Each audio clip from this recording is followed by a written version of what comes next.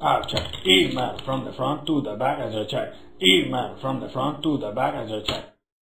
Dear Strong Bad. Dear Strong Bad. There's... I'll go down. Dear Strong Bad. When you go fishing, do you use any sort of special lure or jig to attract the fishes? David Jacobus, Astoria, New York.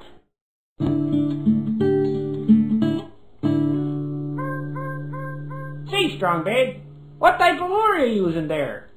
Well, this morning, Coach, I've been mostly using this one. I fish. I fish. I'm gonna, I'm gonna recommend that you guys come up here in the boat. We've got a, uh, a keg of worms and, uh, phytoplankton. Come on.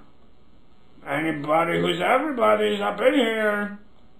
I don't think that's gonna work with a stocked pond. You got any type of jig you could try on there? Oh, yeah. I got this jig. Come on and get in the boat, fish. Come on and get in the boat, fish, fish. Come on and get in the boat, fish. Get in the boat. Oh, they got in the boat. Fish, fish.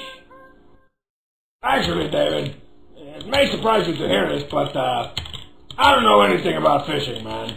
You're welcome to try the jig thing if you want, though it might work better with the ladies. You know, like, come on and come to my house, ladies. Come on and come to my house, girls, girls. Actually, I don't really know anything about the ladies either. I mean, well, I do. I mean, what is, uh, yes, I'm awesome.